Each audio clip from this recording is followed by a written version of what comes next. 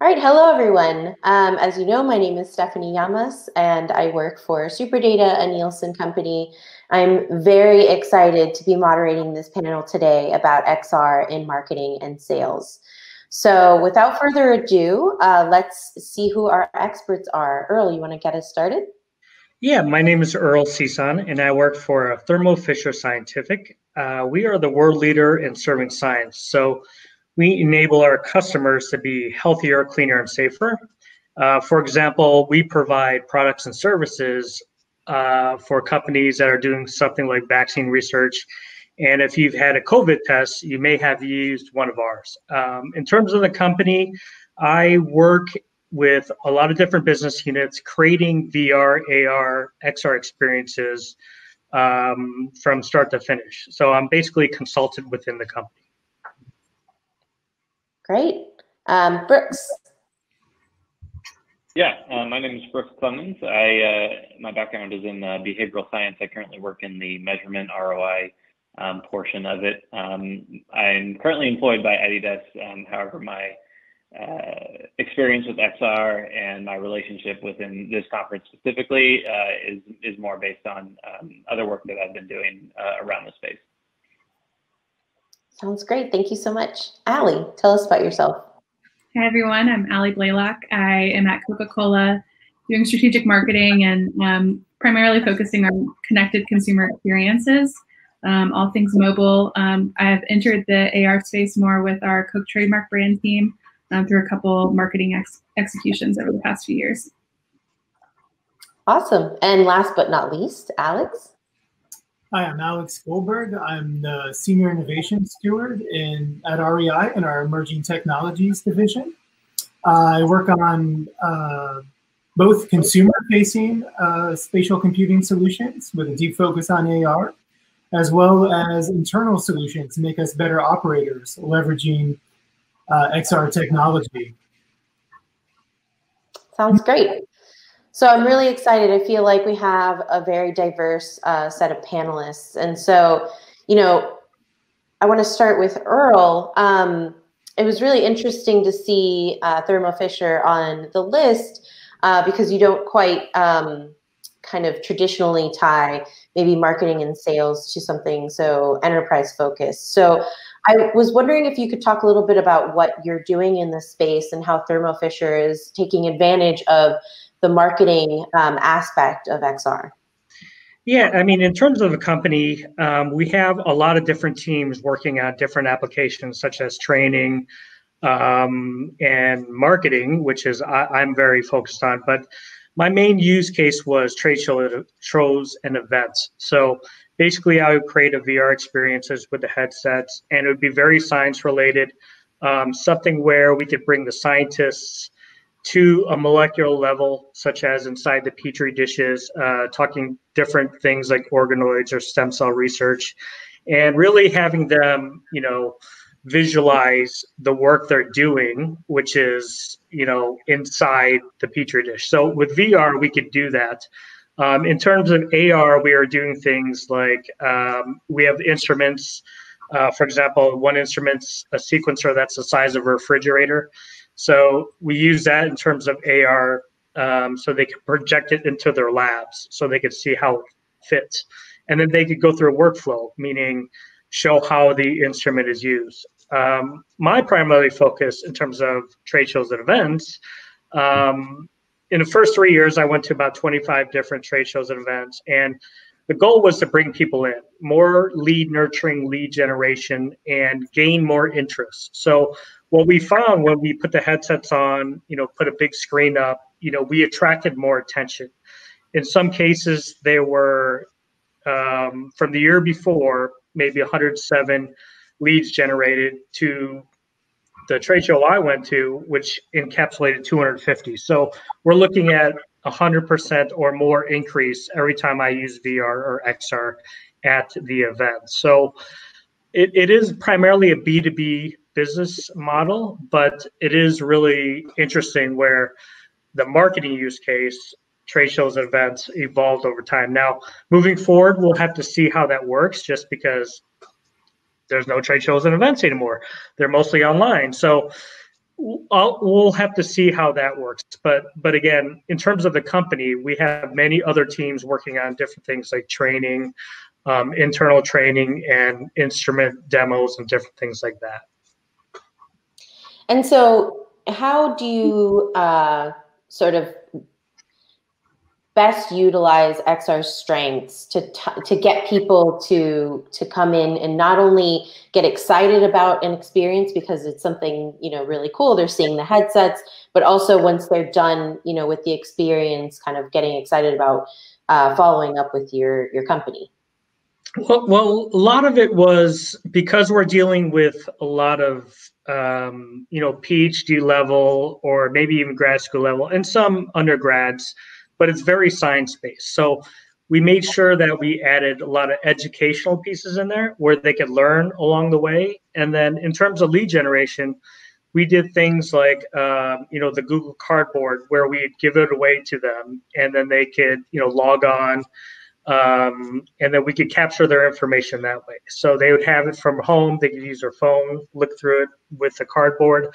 and that helped out in terms of the lead generation thing. But the main point was making it educational. Um, we say edutainment, make it more fun because in the science world, you know, sometimes it's not as fun. So we, we made it engaging, educational, and fun where, and we added gamification where we can uh, to have, you know, these scientists really, you know, engage with the pieces. So it really is immersive versus the other digital media like videos and different things like that. So that's pretty much how what I've been focusing on in terms of making it giving giving them the education and the wow factor of it. And have you found there to be, you know, any um, sort of retention, you know, increased retention or things like that based on um, the experience in XR versus non-XR? Well, you know, that's the interesting thing. Um, to this point, we haven't necessarily tracked that, but in our in our future development, we're, we're definitely going to add um, different things like quizzes, um, you know, things like that, where we could put into our learning management systems and track them over a period of time. So, for example, if they try it day one and they tried it 60 days later, we could track how much better they learned or comprehended from them. So it, it is still a learning piece and project process because it, it, it was difficult in the sense of capturing VR feedback and then you know we, we didn't really know how to track them later on you know sending them surveys and stuff like that but um, our future development we're going to build it in which it'll populate our database and, and we'll have that information so um, the last three years, more, you know, just getting buy-in from our businesses and, you know, customers to come in and try it. And it's beyond the novelty phase. And now we're really going to build in the structure of those type of things where we could make sure that they are learning, not just, you know, having fun with different things. Yeah, absolutely. Yeah, that's so interesting. And I think something that also comes to mind when we think about um, user experiences is, is, storytelling. So I want to kind of shift gears to, um, you know, start with Allie. Um, you know, in terms of storytelling, like what has your experience been with capturing an audience through storytelling in XR? Yeah, it's changed the game overall. Um, there's such a personal element. We primarily have done AR. Um, there's such a personal element of AR and the idea that it's augmenting your world. Um, I think as a brand, so much we want to send our message out over and over again. Um, but then there's the question of, well, how do, why does the consumer care about that? Um, and so I think AR's changed the game. XR overall has um, with that brand storytelling piece, and that's what we've primarily focused on? Um, is it laddering up to the really engagement that we want to have with our audience? Um, and is it solving the goals that we want it to? And can you talk a little bit about how uh, specifically you've employed storytelling? You know, what kind of experiences has Coke um, put in AR? Yeah, we've primarily focused on our own platforms. Um, so creating something native. Um, we've done games within our app. Uh, the biggest program we've done to date was uh, last holiday timeframe. um, we used our packaging at, for the first packaging AR experience across the country, um, where we had our iconic polar bears that we all have probably seen from our commercials over the years. Um, we redesigned them overall and reintroduced the family um, to the country. And then you could actually scan the packaging um, on your cans, your bottles, um, and it would have a different experience where you got to know the bears in a new way. Um, and the coolest part about that was was during the holidays, a time defined by family, friends being together. Um, so there was opportunities to do two packages together with a friend. There was one for you just to engage with yourself, and um, it was all about kind of those happy moments um, and really a lot of the kind of core of what Coke stands behind. Um, so all threaded throughout that experience. It's it's really interesting. I think that Coca-Cola has, you know, this legacy brand and these really interesting characters that engage the consumer. So kind of opening it up to the rest of the panel and, and actually maybe Alex, you can comment. Um, you know, can you talk about storytelling or consumer engagement and, and, and how important that is for marketing in XR? So we don't have polar bears at REI, but we're all about saving them. anyway, um, the um, idea of leveraging that technology to tell a story for us is really about exposing you to our products. The um, tricky part for us is creating digital twins because uh, we have so many different products. Uh, I would imagine for bottles, you would create uh, a model for a can and maybe a two and three liter thing. We have thousands of different items, uh, tens of of uh, various different configurations and sizes, as well as small little items like carabiners. So the biggest hurdle for us is creating the items to then bring in to then perhaps tell a story with. Uh, some of the stories per se that we are trying to tell are um, how to compare items together. I don't know if you'd really call that a story, but product comparison tools, as well as um, how to assemble items uh, like tents, which can be complicated to assemble. And if we can offer that in a disconnected environment um, or setup so they could use their mobile device when they're not connected to the internet and they're out at the campground, uh, something like that is very powerful. Uh, we're not there yet. Uh, we're just doing 3D items that you can see from the product page, but uh, we're working on some of those other ambitious concepts. So you talked about digital twins. Um, I think that's a really interesting topic, and I think especially for you know marketing and sales when you're having folks experience the product itself, um, that's really important. So, you know, is there something out there that you use um, or that you know your company is using as sort of like a you know a catalog or an arsenal of of uh, assets? Or is there something that you wish that you had access to um, to kind of help with that? Absolutely. I wish I had access to a lot of things, um, and I'm excited to uh, be with this uh, with my esteemed um, members of the industry here. And one of the things that excites me most about these kinds of conferences is that uh, we could be the um, all sh- all sh- ships raised in high seas. What's the old saying there? Um, Come on, someone, someone help me out. Um, Rising tide raises all ships, or something.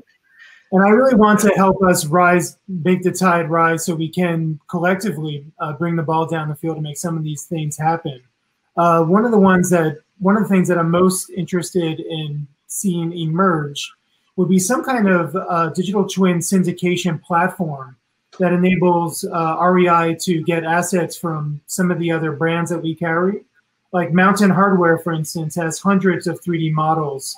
Um, I know that Hoka, uh, sneaker manufacturer, uh, they also are exploring that space. I learned this because I saw their stuff up on Sketchfab when there should be a platform for retailers to share models, and I should have been in on that already. So I'm just giving you a lens into my frustration. So I wish that there was some kind of open platform to share digital twins but to even get to the point to have a high quality digital twin um, that ideally would be signed off on and approved before shared on that platform, signed off and approved by the respective uh, company producing it, uh, we need to come up with better ways to create these digital twins. Um, there's mobile devices that are LiDAR enabled.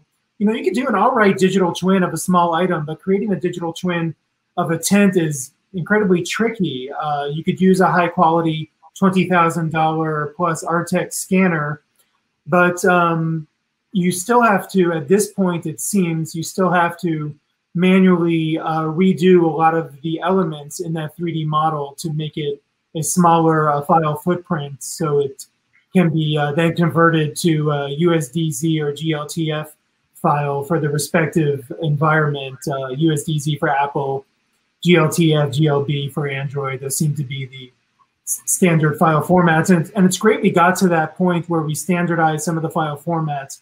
But as far as a platform to get those models that we're sharing, uh, we're obviously not there. And as far as easily creating a digital twin of complex items, uh, it is really tricky. And a lot of the uh, agencies that we speak to uh, to get those models created are pretty ambitious and they think, yeah, we could build you a tent, no problem. But it ends up being a lot trickier uh, once they get going. Um, ideally, we'd be able to do this in house. And even more ideally, we would like to be 3D first, uh, enabling our product development team to create the models uh, that we would then use and we wouldn't have to backwards engineer an already built tent. So uh, there's a lot of um, pluses that would bear fruit from that. Yeah, absolutely. Um, you know, Brooks, I know, you know, you're not necessarily kind of doing the same types of, of marketing and um, initiatives that some of the other folks on the panel are doing. But you have a lot of really great knowledge and experience about XR, and, and we've talked about some of the ideas that you've spoken about um, with how XR can kind of facilitate not just the marketing aspect, but like down the sales chain. So, can you talk a little bit about you know where what has inspired you about, about um, XR in this space? Yeah, uh, sure. Um, one of the things I don't want to try and do is, is repeat thoughts that I've already put out onto the interwebs and, and other places. So um, there's a lot of like common thread that seems to be happening between um, Allie Earl and Alex in terms of um, some of the, the aspects of storytelling that they want to see brought to life, whether that's with consumers or customers, whether that's with um, the people they're trying to sell it to um, before it reaches the customer. So all of these things that that we're seeing either like an interest in furthering or a problem we're trying to solve um, isn't outside the realm of what I've seen in a lot of things, even outside of XR. So the pipeline of, digital assets as one of them. Um, if it starts at, the source of creation of the product, it then almost has this digital legacy that, that stands a better chance at improving the customer um, interaction and the story interaction between customers um, because the the product that is being put in their hands, either in a digital space, I think we're starting to see a, majority of our content is consumed online as people are are frozen in home or or stuck in home as well as um, you know trying to, to to escape smoke. So um, you know the digital device becomes really important, and so if a file or an asset or a piece of content is created digitally um, first, that that allows the first touch point to be really detailed. So one thing Alex was talking about was that, you know, when you're trying to make a replica of something that already exists in space, you have a tough time kind of translating all of those really important design elements into what would eventually be seen on screen. And so, you know, if you use photogrammetry or you use another um, medium to be able to transform this like physical three-dimensional object that exists in real space into the digital space, you sometimes lose a lot of the, the interesting design elements that really make that interaction um, powerful or that story really powerful. And so you have a creation space. If it's not done there, you know, then that like then that upstream design and creation space happens, and then you try and digitize it in that middle stream. And so now you're trying to translate from one design language, maybe another medium like two dimension into three dimension, and you start to lose a lot of that information. And so I think a lot of really powerful storytelling that is done in physical space um, benefits from a really close and collaborative pipeline between digitally creative 3D files whatever space you choose to do that in, and then designing the interaction between the customer or the end user at whatever level um, to really enhance that that that effort. And so it's that collaboration that almost improves the probability that your story is going to reach the customer in a really powerful way, or it just stands a better chance. Um, because I, I, would say right now, in the past you know six months since the beginning of, of the pandemic and isolation, um, my content interaction on a digital device has like increased uh, I don't know how many fold. And so that's a really noisy environment. And so it's almost more important for, for brands to be able to tell a really compelling story. Um, and if you're using XR, so if you're if you're trying to um, put it in someone's hand in in a really democratic way, AR seems to be the best way to do that because there are a lot of devices that then allow you to view it that way. Um, and then if you go into a more immersive VR, and if someone is more invested in, in, in the XR space and they have some immersive equipment, um, and they're wanting to view content that way, um, it becomes even more imperative that your your your design process is really detailed, like the the detailed design elements that you'd want in a tent or in a Coke can, even between like a, a shiny finish and a matte finish. That that is is really hard to come across when you're trying to translate it from like here's an actual can we want you to make a 3D object for versus designing it in a 3D space. And so there, there are a lot of ways that um, the XR space can benefit from just improving the collaboration between the design uh, to customer cycle, as well as um, improving the collaboration between each one of these groups to ensure that when care is put into it, um, it, it is experienced by everyone. So everyone realizes that, you know, it's not just my function that is going to benefit from this and something we can hang our hat on, but collectively as a brand, as a group, um, this collaboration will inevitably end in the highest possible chance of the story being told right or the, the experience being delivered in a powerful manner.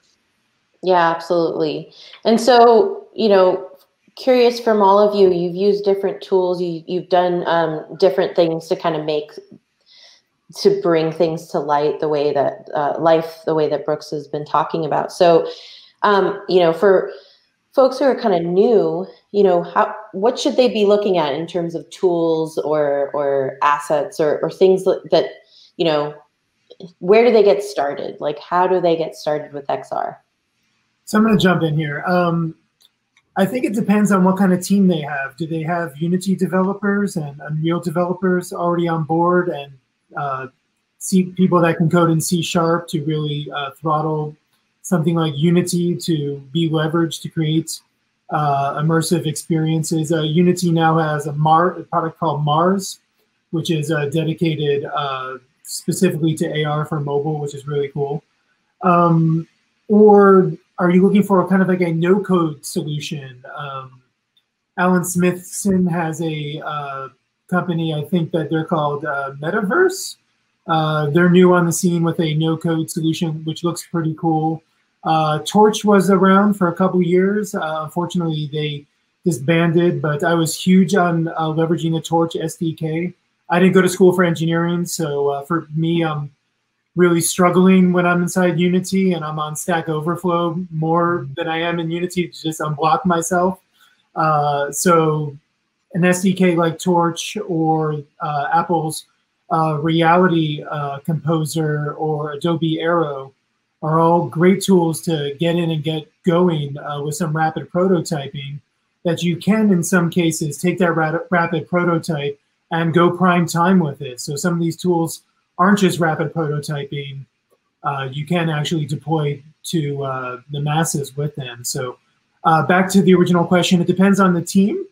Uh, Unity and Unreal have uh, robust AR solutions, but that involves coding. And now we're starting to see a lot of uh, no-code solutions. There's another one, uh, KP9 Interactive. They're a Canadian Canadian company, and um, from what I've seen, they have some very promising stuff as well. So, and I would jump into to say, kind of back into what are the goals as well. Like, if you want something super turnkey, maybe it's just piloting something with Apple ARKit or even a social media partner with a filter, something that has a really low barrier of entry for your consumer.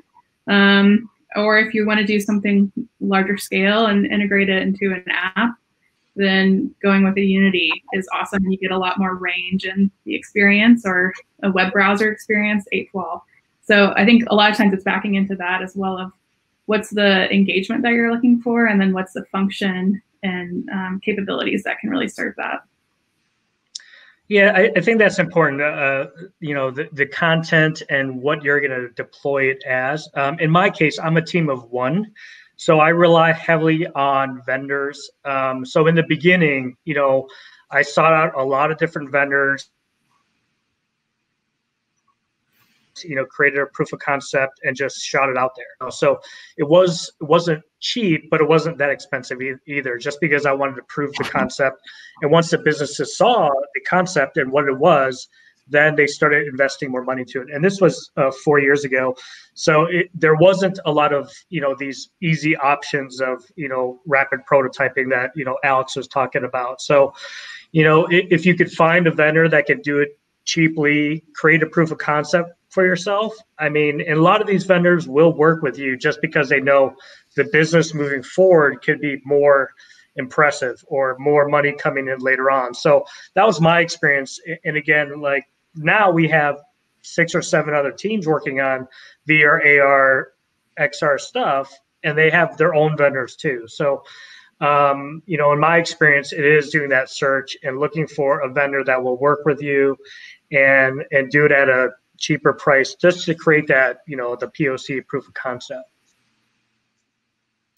Yeah, yeah, absolutely. I mean, there there are a lot of different options out there, but I feel like you guys are, you know, you you guys have tried many of them and um, kind of presenting from your different case studies and, and use cases.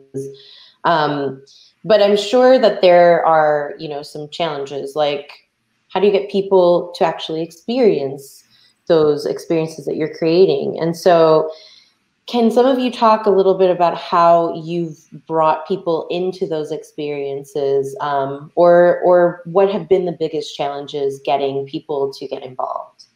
You know, um, it's interesting. One of REI, one of the things I love about REI is our beautiful print catalogs. Uh, with the leap to digital, we're starting to see less and less of that in our world. Uh, we actually just started a magazine called Uncommon Path. So we have a print magazine that we released a few months ago. Um, so we we have always made uh, beautiful print media. Um, I love our catalogs; and they look great on a table. So we throttled that with a marker-based um, way to invoke AR uh, for I think it was holiday 2019 uh, last fall and uh, that was a hit. Uh, that was in concert with our first uh, AR-enabled products uh, that we included in our mobile app. So we had an increase of um, viewing specific to the tent that was included in the holiday catalog. so we went with our old school print media and then catapulted you way into the future with XR. That's awesome. And it's true. You REI has some great catalogs and and the visuals are really compelling. And so then when I've seen some of the immersive um, experiences that you guys have created, it it's it's like being pulled into the catalog, um, which is really it's it's been really cool. Um, and so, Allie, maybe you can talk a little bit then about like the you know how you got consumers um, to get excited, you know, especially because I'm sure a lot of consumers have never used AR. So, you know, what were some of the, the ways that you kind of compelled them to to have these experiences? Yeah, um, I think Alex made a great point of it's almost taking inventory of what do you have from a platform perspective or communication messaging experience. So obviously in their case, they have an amazing catalog and direct mail opportunity and um, a big part of ours was our packaging itself, where obviously the experience was initiated from, but we had a call to action on the packaging. So um, the idea is, you know, you're drinking your Coke, um, your Coke Zero, and you see it on there, um, and that's initiates the experience. So that's kind of our baseline.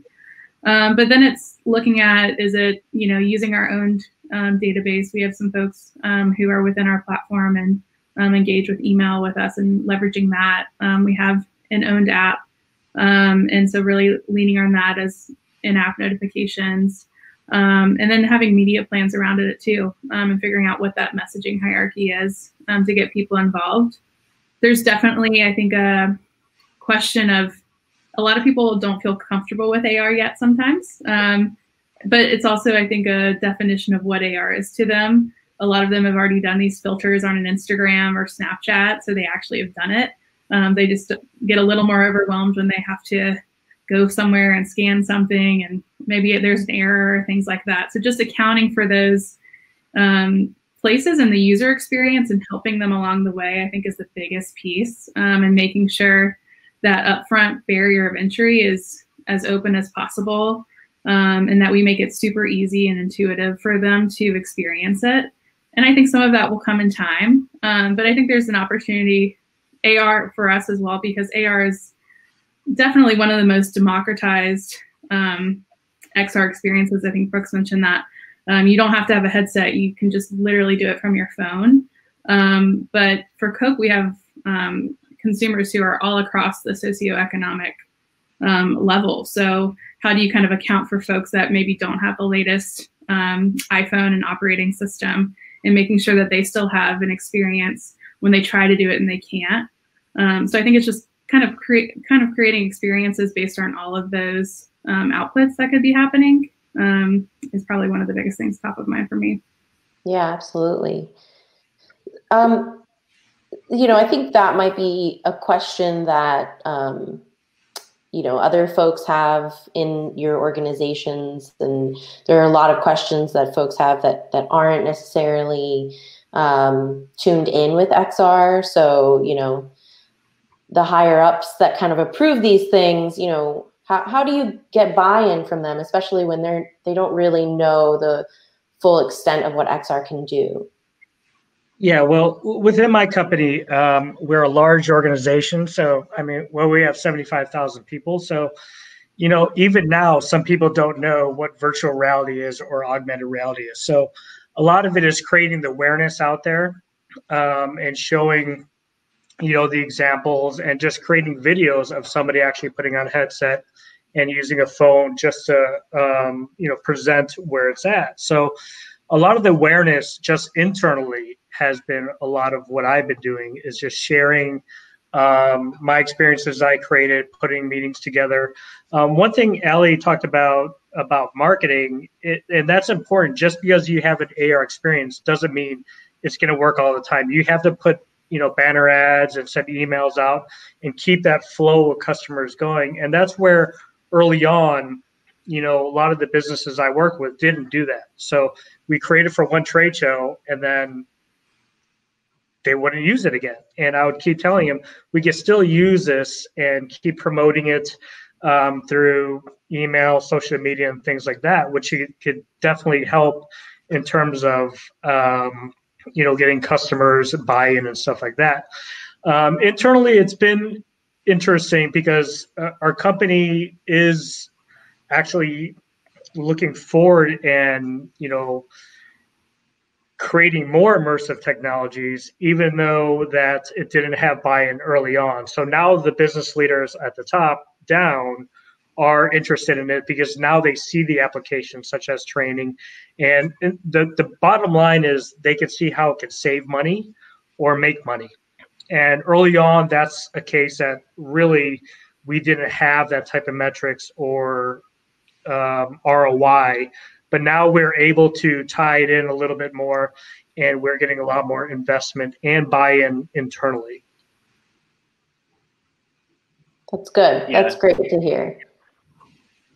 Sorry, an interesting part that, that Earl brought. No, yeah, that's a, it's an interesting thing that, that Earl brought up, and it there's, again, there's like a lot of connected connection between all of these things, which is um, if you're trying to get senior leadership to buy into something that is slightly nebulous, even now in in XR, um, you you almost have to inform leadership of how this isn't just an investment in a one-time thing. Like if you're at a trade show and you invest in physical structures like a booth, uh, some carpet, that's like a one-time use thing. It's it's tough for them unless they want it in their office um, to see that thing like continue to to pay off as an investment. Whereas if you if you approach it from the standpoint of the reason why we're doing this is to fit this one objective, So in, in Alex's case, if it's how do you get consumers to um, understand the benefits of this one tent that's in this one catalog, um, to design or to pull those designed um, 3D pieces into a space that allows someone who might have the catalog to then open it up and be like, oh yeah, that's something interesting. I'd like to. And if on the catalog it says, hey, if you have a phone and you put your phone on this QR code and it pulls up this tent and it all of a sudden allows you to interact with the tent in augmented reality and begin to like assemble it, you yourself will figure out how easy it is to assemble this tent. And so now you've shown that, okay, there's an investment that you have to make upfront that would allow you to solve perhaps a consumer insight problem, which is people are having a tough time understanding which tents are easier to fold up and which ones aren't. I mean, this happens in, in, in a bunch of different industries, and you can find a similar problem probably at Coke or uh, in the healthcare industry as well. Um, and so to frame to a senior leader that you're not investing in XR, you're investing in a problem solving tool that allows people to not only see it as a solve in a customer environment, but it allows your internal people to see that, oh, this will help me better understand how our own products work. So then I can design a customer space for a trade show or for a consumer experience, you know, for a holiday. If, if, if Coke's going to do another um, polar bear ad, uh, you know, what are the ways that you can tie that TV ad to that display ad that you see to, you know, a Coke can itself? And that investment in XR is a way for you to really surprise and delight consumers who might not be, you know, immediately going to the XR space whenever they see it. It, it might be something they don't really know much about, but it's an investment in something that you can reap benefits from. Like like Earl said, you know, both uh, an investment that you can see sales from, but and also a benefit in efficiency gains because your processes become more digitized. You don't have to spend more money on like physical space um, and a lot of these things can, can be recycled or reused over and over again in the digital space. Those are all great points, uh, Brooks. And uh, Earl, what you said, and then Brooks, what you then elaborated on, uh, comes back to uh, what I refer to as evergreen. The models can be reused uh, and they're good to go uh, minus a product update. And even if the product did change, perhaps we you could just uh, modify the model just a little bit to reflect the change as opposed to rebuilding the, the entire model. Um, so hammering that into senior leadership um, and getting them out of the um, sort of throwaway culture, use once, not reusable kind of mindset is huge in uh, making a case for uh, using XR at your company. Allie, what you were mentioning uh, regarding barrier barrier of entry, um, I think that WebXR is the solution. Which um, the the better that WebXR gets, or uh, WebAR specific uh, to using A AR on the browser, um, that's going to be uh, a big game changer. I think WebXR is getting there, but for some of the more complex uh, 3D experiences in AR, um, I've yet to really see WebXR execute against that. But um, back to what I was saying with uh, rising tide lifts all boats, I really want to see uh, the industry step up to the plate and uh, get WebXR uh, in parity with uh, native experiences. Um, there are so many uh, different ways you can look at wine bottles now and you bring the label to life, I think, and beer cans. And I think it's really neat and it's a way to get people excited about XR. But if you're at the wine shop, you have to select the QR code, go to the app store, download the app. I mean, someone like me would do it. I'm there for like a couple minutes and I'm nerding out looking at all these things. But I think you really need to make that barrier of entry low and just have it working right away. And we really need WebXR to um, enable that. And I'm very excited about the future of WebXR for that. Yeah, I'm actually really glad that you brought up WebXR um, because that's something that you know I I personally feel will will help kind of spread XR uh, more and, and give more people an opportunity to use it because it's true that there is sort of that barrier like if you have to download an app that you don't already have and you know whatever like that that kind of stops you know some people from from experiencing and especially if they don't know the value or the interest you know that that comes from um, an XR experience. So I would agree that WebXR is really important and really interesting to the future of, of XR experiences. Um, we have a few more minutes, so I just want to get some of your um, sort of last thoughts before Q&A. What uh, do each of you want people to take away from this panel most? What's the key takeaway that you think is most important um, for attendees? And we'll start with Earl. You know, it's interesting. Um, I, I, think the one thing is that, um, like Alex was saying, and other people were saying, is that there are lower cost ways of getting in nowadays in terms of creating XR, um, AR platforms where you could, um, if you're looking to get into XR, you could do it nowadays at a lower cost. I think that's important.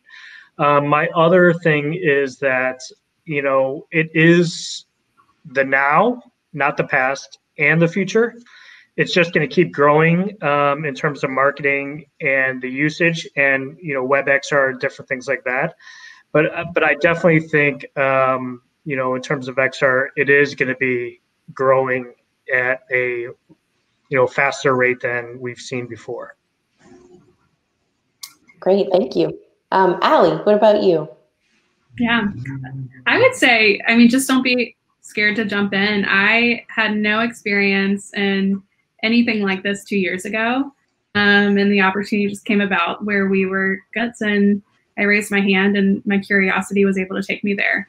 Um, so very, I would say just kind of jump in um, and also kind of take on the responsibility at that point to know you'll be primarily influencing a lot of that moving forward and championing it internally and externally. Um, so, and it's a, it's an awesome place to be. Um, and gain an agency partner too who can help you in the space. Um, I think all of us are obviously sitting on the um, in-house side. So we, I, I, lean a lot on my agency partners to kind of share the latest um, and keep me up to date too. Um, and there's a lot of ways to just pilot things and try it out. Um, so. Great, thank you. Alex, how about you? Uh, I second what Allie said. Uh, just get going, learn your way into it. I've been waiting for this my whole life. I feel like ever since I, gosh, ever since I can remember, I've been fantasizing about these types of experiences. but I love that Allie um, two years ago just jumped in and started learning our way into it. And I actually think that we're the same. I, although I had that original passion, we're all just really learning our way in, into this right now. So uh, just go for it and start figuring it out. I am also um, very excited, as I said, about the future of WebXR and um, trying to get that technology up to where uh, native apps are, as well as the content syndication. I would love to see uh, platforms emerge that handle uh, sharing models safely between uh, companies that do business together. Great, thank you. And Brooks, yeah, I would say um, whatever the project is, um, keep the primary objectives in mind. Um, the primary objective is going to help guide what platform you use, what element of XR you might use.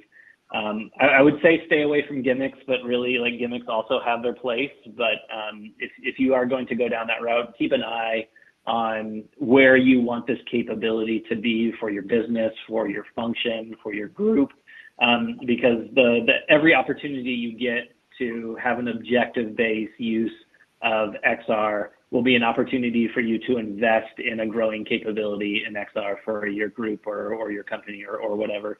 And so that's kind of how these things um, evolve is that you you start to build um, on top of one another. Humans are great at iterating. And so if you build an iterative case on top of another objective that you had a while ago, um, you'll start to see um, the exploration that you have in XR and whatever the new um, you know XR space that we'll be talking about next year might be um, keeping it, keeping in mind what that objective is is not only going to help your case now and whenever the the project is done, but also in the future as you begin to build a, a capability toward um, you know a fully imagined digital XR pipeline like we've talked about here.